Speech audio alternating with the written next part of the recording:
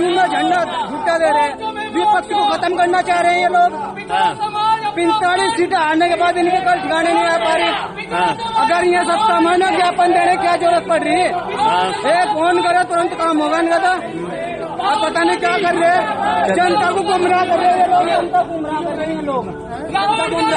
रोज़गार इनके रोज़गार इनके पास नहीं बिल्कुल नहीं। इनके पास रोज़गार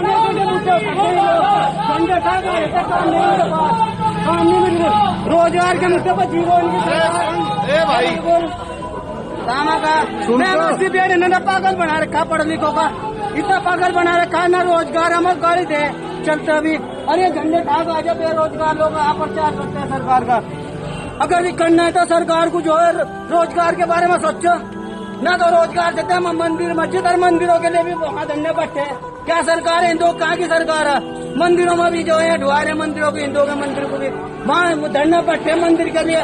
जब हिंदुओं की सरकार तो मंदिर के लिए धरना क्यों बैठे? परमिशन दो, तुरंत मंदिर बनने की और ये झंडा लेके आते फूल वाले अब इनको ना तो इनके पास रोज़गार ले, कोई मुद्दा ना रोज़गार निकाल ले। बीएड वाले की भर्ती इनको बीएड वाले क्या काम करे प्राइवेट टीचर नहीं बन सकते।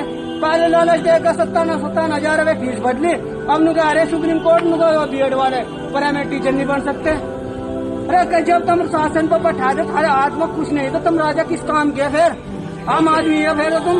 अगर राजा तो फिर इन बेरोजगार पढ़े लिखे के इनके बारे में सोचो। सबसे पहले तो रोज़गार के बारे में सोचो।